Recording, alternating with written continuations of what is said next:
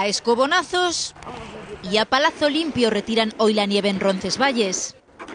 Esto es lo maravilloso de la nieve, para cuando en vez de mirarla desde detrás de los cristales, hay que salir a la calle y pelear con ella.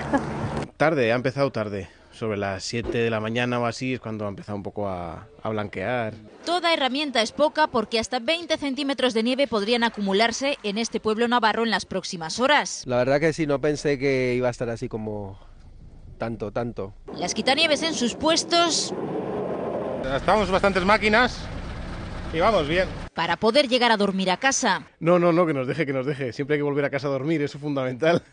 Mejor llevar las cadenas en el coche. Esta mañana han sido necesarias en el puerto asturiano de la red principal de Pajares. Hay que bajar muy despacio y muy- con mucho cuidado porque si haces alguna maniobra brusca, te la cargas. Imprescindible ir con cuidado porque a una cota de nieve que bajará hasta los 400 metros en el norte se suma la niebla densa. Es que poco puedes ver, así que horrible. A estas horas también se obliga a circular con precaución en los puertos alaveses de Herrera y Opacua. esta tarde y, y mañana a la mañana puede ser eh, punto álgido de, de- de esta nevada. 14 provincias del norte están en alerta por nieve. En Pucherdá, Girona la esperan. Y cerca en la estación de La Molina ya la disfrutan. Que nieve esta tarde noche y mañana haga sol. Eso sería fantástico. La primera gran nevada del año manchará de blanco sobre todo durante hoy y mañana.